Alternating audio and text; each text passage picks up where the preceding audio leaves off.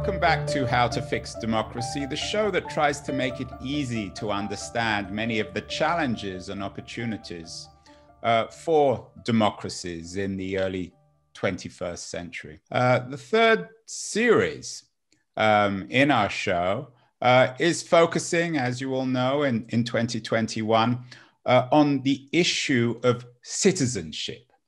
We've tried to make it easy to understand, again, both the challenges and opportunities uh, of citizens and citizenship in terms of strengthening democracy. One company that is in the business of making the business, if you like, of citizenship easier, more accessible, and indeed more fun uh, is a, a Brussels, a Belgium based company, a startup called Citizen Lab.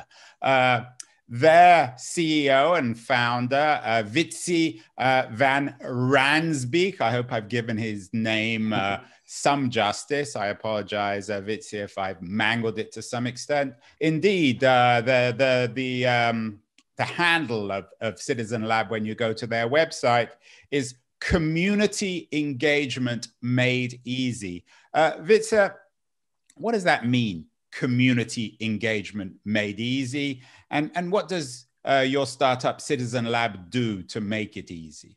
Yeah, well, we have, um, or we have developed an online community engagement platform, digital democracy platform, you could say, which gives citizens the opportunity to have a say on the topics that they care about.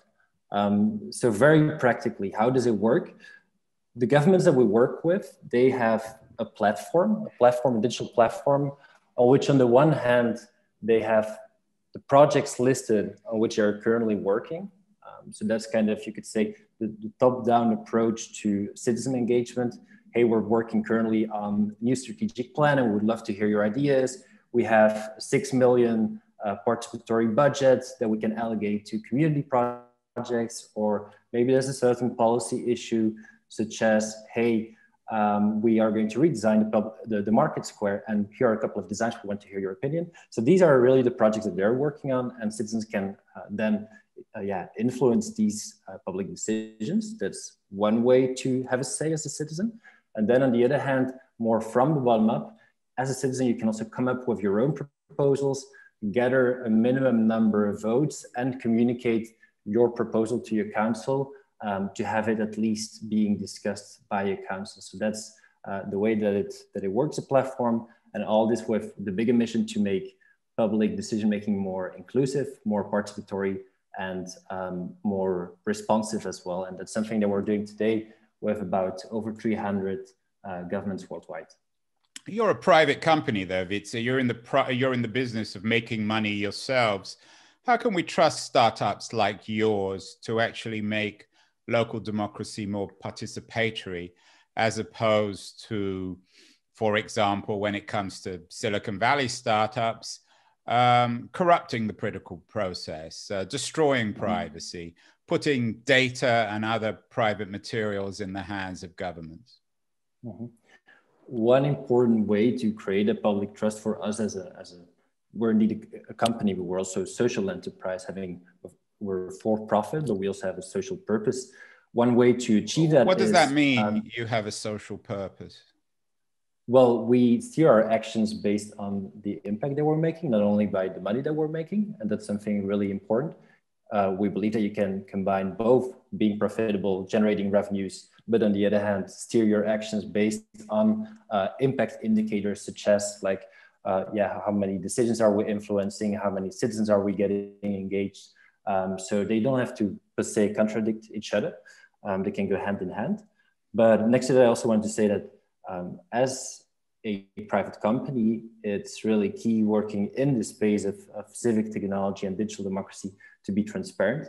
Uh, in our case, we do that by having all the code uh, being open, having also an open, open source version of our platform, and giving really yeah, full transparency on um, on the code and the algorithms that are in the end going to obviously indeed also um, affect the democratic outcome. So that's something that is really important to have the transparency in place and and uh, and yeah to be open. Why should citizenship be easy? In all seriousness, shouldn't it require some work? it's not like uh, clicking on a on a on a, a Facebook like or or or putting up a tweet. Isn't the problem with digital technology? Is it gives the mm-hmm. illusion of easiness and it, and it turns citizens into consumers. Why not make citizenship hard uh, and therefore reward people who really want to make the effort? Well, there should be a good mix of having so-called thin and thick engagement. You could say the difficult and the easy engagement. You can have uh, very wide engagement and make it accessible and, and easy for people whenever they're affected by a public decision that they can have a, have a direct say on these issues. That's our mission. That's what we hope to do by putting digital technology in place and, and yeah, breaking down the barriers to actually participate. But it doesn't exclude also having some issues on which, and I totally agree there with you, on which we can have or on which we should have more debate, more in-depth discussion. Um, so I think that the two can go hand in hand. And I agree with you. That's one of the challenges for digital democracy to find a good model for really going in depth, having these online conversations because we've seen that things such as actions such as voting, and you refer to, to Facebook with, with likes, uh, that, that's one thing indeed, but uh, also signing proposals, for instance, these things that can be done at scale successfully. But when we're talking about deliberation, that still remains a challenge. Uh, although I think with COVID now, we've seen that um, with so many Zoom calls, with so many workshops, that have been some really interesting experiments also in doing mass deliberation, the more difficult engagement, if you want. Um, and I think there are some very promising signals there to have more in-depth face-to-face discussions between citizens, uh, combined with, as I said, like more of the teen engagement, making it easy for more people to be included and follow um, what's going on in, in the city or, or their, the government. Are you making it? Uh, is your goal to make it easy for the local authority to access uh, the desires of, of their citizens? Or is the goal to make it easy for the citizens themselves, or both? Well, in, in it, it's for both. If we look at the substitute today, if one of the ways to engage in the, and still the default way is to attend the town hall meeting, to go, uh, especially at local level, to go on a Tuesday night at eight o'clock, um, to go to town hall meeting. And then you will only have a very small group of engaged citizens. And that's really difficult if you want to to go there and to spend so much time there. So indeed it's so they, those people are, are, are, kind of professional citizens as you say. They're the people who who show up for every town hall meeting uh, at eight in the week uh, when most people have to feed their families or perhaps even work. Um, so you're you're taking you're taking power out of the hands of these very active semi-professional citizens and giving it to everybody.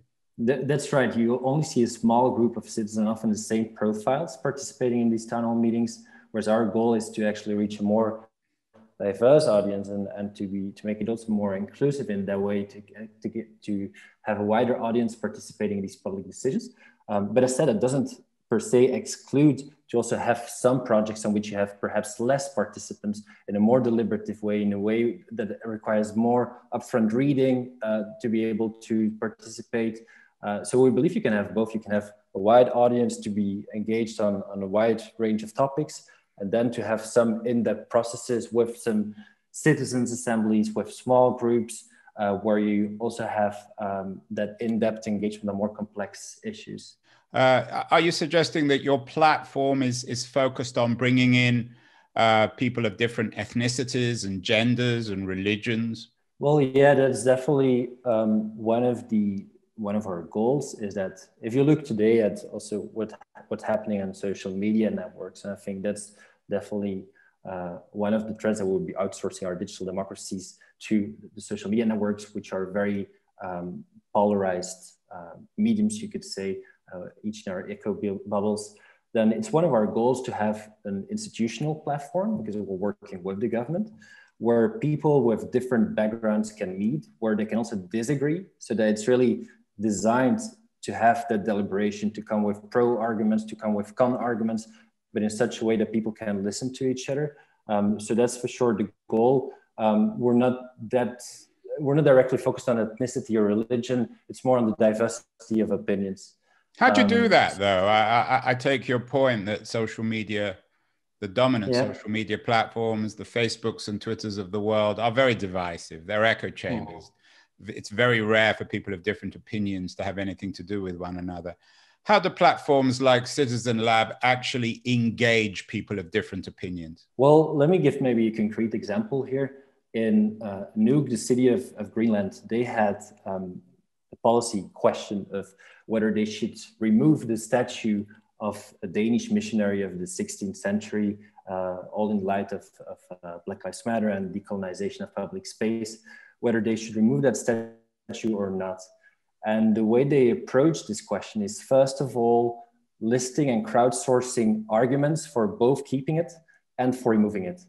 And so that's step one to actually have that deliberation to think about what are the pros, what are the cons before actually going to uh, the voting phase. So I think that is one important uh, design in, of these platforms to be focused more on pros and cons and deliberation, weighing of the different perspectives before actually going to, hey, I want to express my opinion.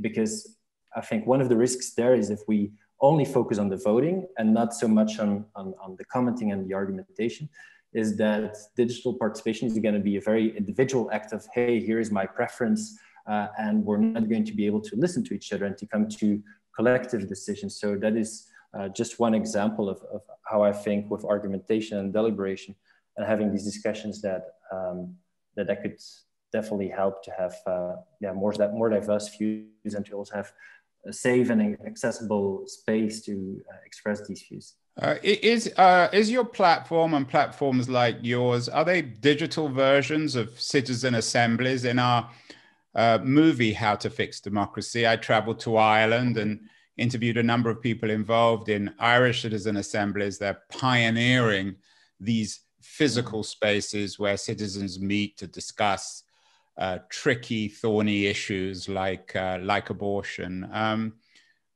how, how, do you connect as um, as a platform with citizen assemblies?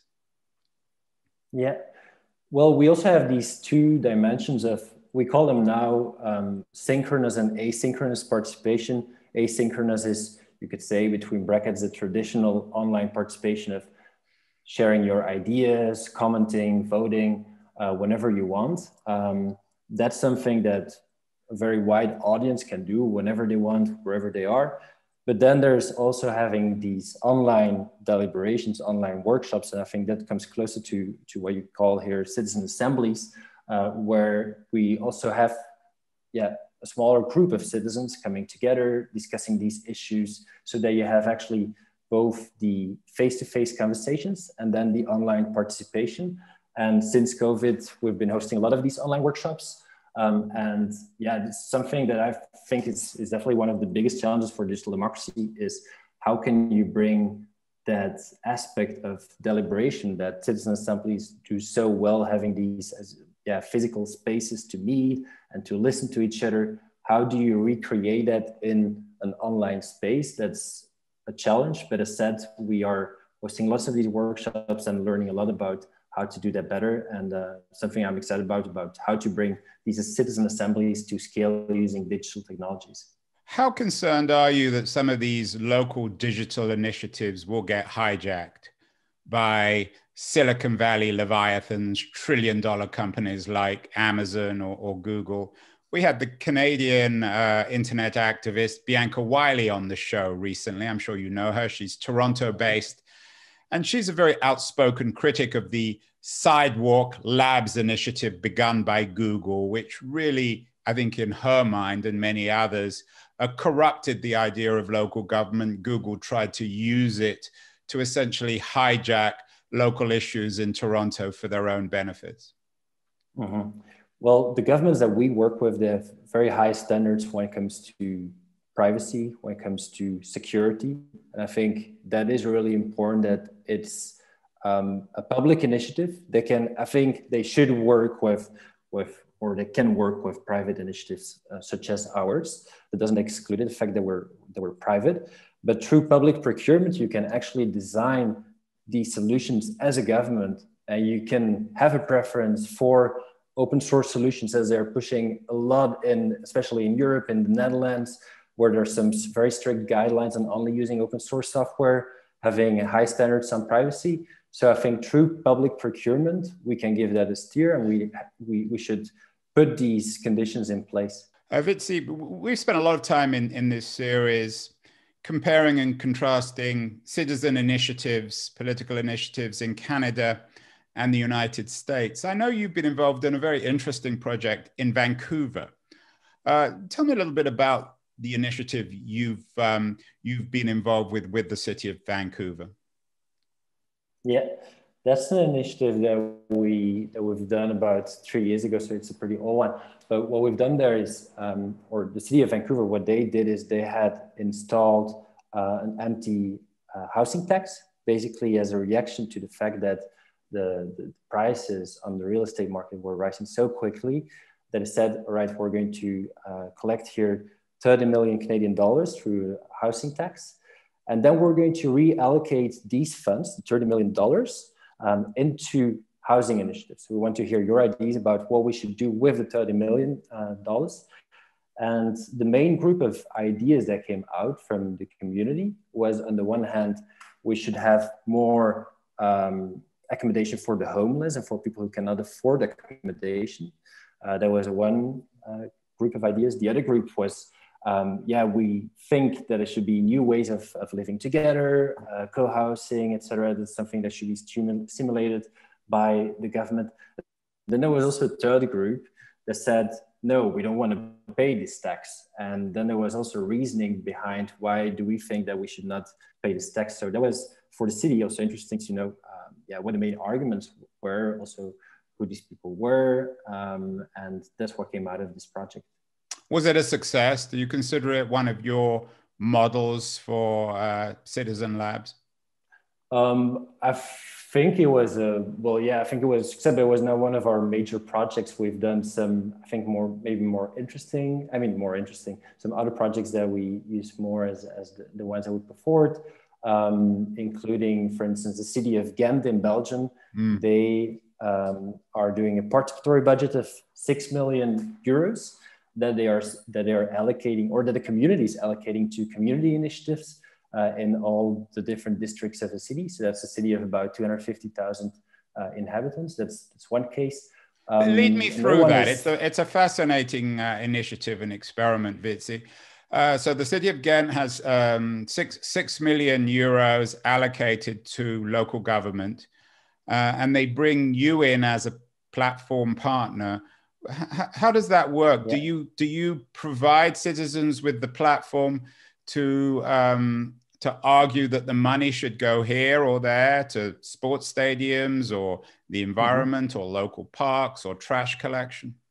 Yeah, exactly. So it's organized per neighborhood, and in the first phase of the project, the community, so the citizens, they can come up with ideas for their neighborhood. They could say, indeed, we need a new sports stadium, we want to a playground here, um, or we want to make our neighborhood greener and we want to, to see trees here. So that's the first phase of collecting these ideas.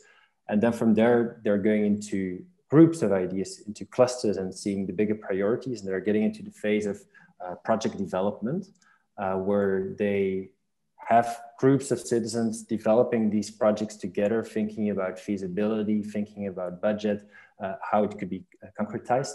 And that's something that's also being done. So again, like talking about thin and thick engagement, the first part is ID, uh, ID collection online. The second part is with in-person meetings. Of course, due to COVID was not possible now, but they're going to continue that with phys uh, physical gatherings. And um, then they will go to the ballot box, 6 million euros that can be divided to uh, all these projects that they have developed. And then they can choose which projects should be financed here uh, for our neighborhood. That's the, how the process works. One of the more convincing critiques of the EU, certainly I think in the UK when it came to the Brexit vote, was that the ideology of the EU is a top down uh, technocracy. Everything gets quantified, everything gets crunched in numbers and analytics. Now, I know that the purpose, in a sense, of your platform or platforms like you are empowering everyone, uh, open source, and all the rest of it. But would it be fair to say that platforms like yours are also um, a, piece of a, a, kind of digital technocratic approach to government uh, as opposed to um, as opposed to other ways of thinking about politics and citizenship? Um, why would you say so? Why, why would why would that strengthen like a technocratic uh, way of government? Well, you seem to be in the business of, of trying to quantify everything. You aggregate voices, um, you use artificial intelligence to crunch numbers. It, it, it, seems to me as if the, the guiding philosophy, the ideology of platforms like yours is technocracy. Perhaps I'm wrong. Mm. Well, at least our mission is to do uh, rather the opposite and to include more, more of the population, the people who are not per se the experts on the topic, but who have a mm-hmm. stake, who are affected by that decision, that they can make their voice heard. Um, so, well, yeah, to really open it up beyond the experts, that's our mission. Uh, that's why I was also asking about why would you, why would you say so on making it quantitative. Um, the way for us to also measure our impact is not only looking at how many people participated, how many citizens participated, but also look at the quality of the, of the process. How have the public decisions that have been shaped, how have they been uh, affected or influenced by uh, the input of the community? Um, so we do both like looking at the quality and the quantity of the inputs, but it's at least as important, not only for ourselves, but for digital democracy to, uh, yeah, indeed not only look at the vanity metrics of so many participants, but look at what's being said and look at uh, the quality of the process as well. And I think, by the way, that that is one of the um, threats and dangers of, of digital democracy is that uh, all the governments are getting convinced that we that they have to do online participation, that they have to involve their community in decisions being made. But one of the threats there is that they're going to launch tokenistic projects that are not most meaningful. Hey, what would be, you know, like the name of the of our next swimming pool in the city. Um, so I think that's one of the challenges for the coming years to make to be really critical of that and to make sure that uh, yeah, that these projects are high stake, highly political, and that they that they matter to people that are not just about the small things. Uh, Vince, your uh, your website and your platform boasts that you use natural language processing mm-hmm. to, to make uh, your product more intelligent. Um, that's, a, of course, a euphemism for artificial intelligence, for machine learning. Um, should we be concerned with this? How are you integrating AI into your platform, and how can we trust that? Yeah. Um, so we use um, AI or, or, text analytics, especially in, in um, to yeah, to analyze all the ideas. So once you've collected hundreds or thousands of ideas for the strategic plan for the future of your city, then for civil servants, the way that they do that today is they go through a spreadsheet one by one, all the 2000 ideas, they group them, and that takes weeks of work to be able to do that. And it's also one of the barriers for them towards more participation is that it takes too much time for us. So what we try to do is um, actually make that whole process a little more efficient. Um, of course, the civil servants, they should be, they should remain in control, should be able to still analyze it themselves, but at least there is some assistance by that technology, by the smart technology to give some ideas of, hey, that's what's being talked about. And I think what's most important is that the AI is explainable, that it can be, that it's clear how it works and why you get to see a certain outcome, and that it's also uh, transparent, that it's shared with the public, that they can also look at these results and that it's not only something that is uh, accessible to the government. Could you explain in a little bit more detail what that actually means? It seems to me that um, public servants, uh, local bureaucrats, local politicians should be reading what local citizens think and say. They should be hearing or watching or reading. Once it gets broken down by machines, um, then the whole democratic process is profoundly undermined, isn't it? True, but it's it's here more of an assistance to find you know like the groups of ideas, to find the clusters, to find the the the, the keywords. When you say cluster, what does that mean? Yeah, so let me maybe uh, concretize a little how that works. So imagine that we have 1,000 ideas collected uh, for for the future of a city, uh, different ideas for, for that should come into the strategic plan of a city. Um, then what we're going to do, or what, or what the technology is going to do, is going to look semantically at each of these ideas. So talking about the Vancouver project, if I'm talking about empty houses and you're talking about accommodation that is not used, then we know that it's about a similar thing and we're putting it together. And it comes under the same group of, hey, this is about empty accommodation. So basically that's what the technology is doing mainly, clustering these ideas into so, so bigger priorities. You call it semantic analysis. Um, yeah, uh, exactly. Making generalizations about language, is that right? Exactly, that's correct to find actually a bit of a common structure because you have large volumes of, of, of, of input here and to make it easy, easier to, to, to grasp what's being said, what's, uh, what the community is uh, talking about. But again, I wouldn't per se exclude, of course, they would go through these ideas, but then at least you find like, hey, what are the, the common denominators here? What are the, the main topics that are being talked about? And that allows, or at least makes it much easier for the city, for the uh, public officials to dive into each of these priorities and see what's being said. Uh, Wietse, finally, we had the um, the Canadian dystopian writer Margaret Atwood, the novelist, on the show uh, earlier this year. She's, of course, the author of *Handmaid's Tale*. It was that was a book about the way in which seemingly decent ideas got corrupted and got transformed into dictatorship and exploitation into a dark, dark future. Are you concerned about potential digital dystopias? You mentioned that earlier. How do we need to guard not against uh, worthy startups like Sidewalk, uh, like um, like Citizen Labs, but how can we guard against the digital future of to use one of your words or a couple of words, radical transparency, where we lose our privacy and huge trillion, multi trillion dollar companies know everything about us, or for that matter, governments know everything about us, the kinds of governments that Edward Snowden warned us about? Mm-hmm. Um, well, I think in the first place, yeah, as I said, as I said before, government should remain in control and, and they should be in control of the design. So we shouldn't leave it uh, only to the, to the private companies. Um, but I don't think actually, just want to get back to that, I don't think that transparency and privacy, they don't exclude each other. You can be fully transparent on your code. I just wanted to make it very clear. Uh, the code can be open, but you can still have the very highest standards of uh, of or the very highest data standards. And I think the fact that in Europe that we have the GDPR, which is already something of, a very pretty high standard, uh, working with governments, it's always being respected.